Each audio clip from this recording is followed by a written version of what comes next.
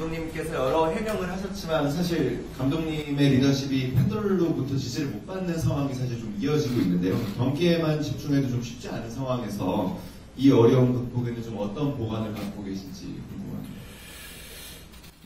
예, 뭐 저도 어, 답답하고요. 어, 뭐 특히 이제 이번에 국회에 가가지고 여러 이야기를 하고 싶었지만은 뭐 결과적으로 이제 하지 못했는데요.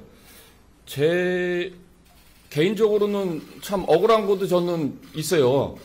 근데 저는 분명히 이게 그 과정에 정상적인 절차를 거쳤냐 해서 걸쳤다고 얘기를 들었고 그다음에 제가 어떤 평가를 받았냐라고 했을 때 저는 제일 가장 높은 음, 점수를 받았다고 해서 제가 이제 대표팀에 이제 수락을 하게 됐는데 요번에 국회에서 가 보니까 약간 제가 들었던 말보다는 조금 다른 게 좀 있더라고요. 그래서 뭐 저는 동의를 했냐 또 안 했냐 뭐 그런 게 있는데 저는 뭐 그래서 아예 이거를 좀 더더 어, 그동안 쭉 있었던 회의록을 저희가 그 안에 뭐가 있는지는 알 수는 없으니까 뭐 전체적으로 한번 협회 내에서도 또 공개를 해줬으면 전 좋겠다라는 생각이 들고 만약에 그게 안 된다고 하면은 제일 쟁점이 되는 10차 회의록이 아마 있을 거예요. 뭐 이번에 국회에 가서도 10차 회의록 얘기를 제일 많이 했는데 전 그 10차 회의, 회의록이라도 좀 이렇게 언론에 전체적으로 한번 평가를 받아보는 게 어, 저희가 뭐 이 부분에 대해서 계속 얘기할 수 있는 건 아니니까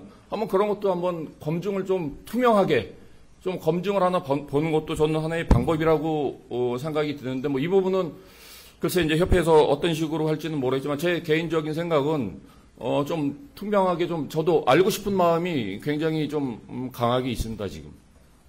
문체부에서는 감독 선임 과정에 대한 중간 결과를 발표하겠다라고 공지를 했고 유인총 장관이 언론을 통해서 감독 선임 과정에 대한 것이 선임 절차 등에 대해서도 필요한지 생각해 봐야 한다는 취지로 발언을 했는데 이 부분에 대해서도 그러면은 좀 투명하게 공개하고 조금 더 절차를 명확히 하자는 입장이신 것인지 질문입니다. 그거는 이제 문체부의 절차기 때문에 제가 말씀드릴 수는 없고요. 뭐 그거는 그 결과가 나온 다음에 생각하는 거는 뭐 그렇게 오래 걸리지는 않을 거라고 생각이 들어요. 그래서 협회하고 어떤 얘기가 오갔는지는 모르겠지만은 저한테 있어서는 지금 중요한 거는 올 10월 경기가 굉장히 중요하기 때문에 이거를 어떻게 치르냐가 저한테 있어서는 음, 굉장히 중요한 음, 그거보다 더 지금의 상황은 더 큰 이슈라고 생각하고 있습니다. 네, 감사합니다. 이상으로 2026 피파 96 월드컵 아시아 지역 3차 예선 10월 소집에 대한 홍명보 감독 기자회견 마치도록 하겠습니다. 수고했습니다. 감사합니다.